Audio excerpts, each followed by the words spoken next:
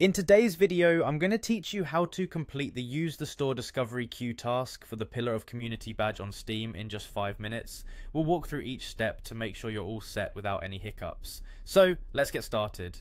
First, you'll want to open your Steam application. Once you're in, go ahead and click on the login button if you aren't logged in already.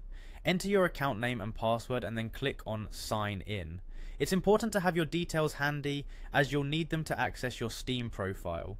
Now that you're signed in and on the Steam homepage, look towards the top right section of your window where you'll find your profile name. Click on it to reveal a drop down menu. From there, select View My Profile. This is where all your public profile information is housed, including badges, game stats, and more. Once you're on your profile page, locate and click on the Badges section. This is where all your achievements and badges live. Now scroll down until you find the Pillar of Community badge. Today we are going to complete an aspect of this badge which involves using the Store Discovery queue. From the Badges page you will be directed to complete the task by heading over to the main Store tab on Steam. This is the central hub to find new games, offers and personalised recommendations. Click on Store to take you to the area where you'll find the Discovery queue. Within the store find the Discovery queue option and click on it.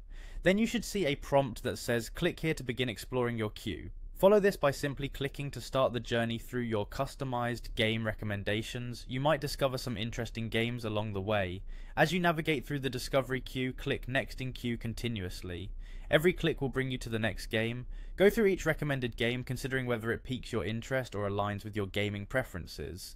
Finally, once you've gone through all the suggestions, you'll click on Finish Queue. Congratulations, you've now completed the task of using the Store Discovery queue. Head back to your profile by clicking your profile name again and selecting View My Profile. Display your badges by clicking on Badges, and once more access the Pillar of Community. You should now see that the Use the Store Discovery queue task has been marked as complete. This not only brings you a little closer to finishing the Pillar of Community badge, but also keeps your Steam profile active and engaging. And that's it, you've completed a crucial part of your Steam community profile. Thank you for watching and happy gaming.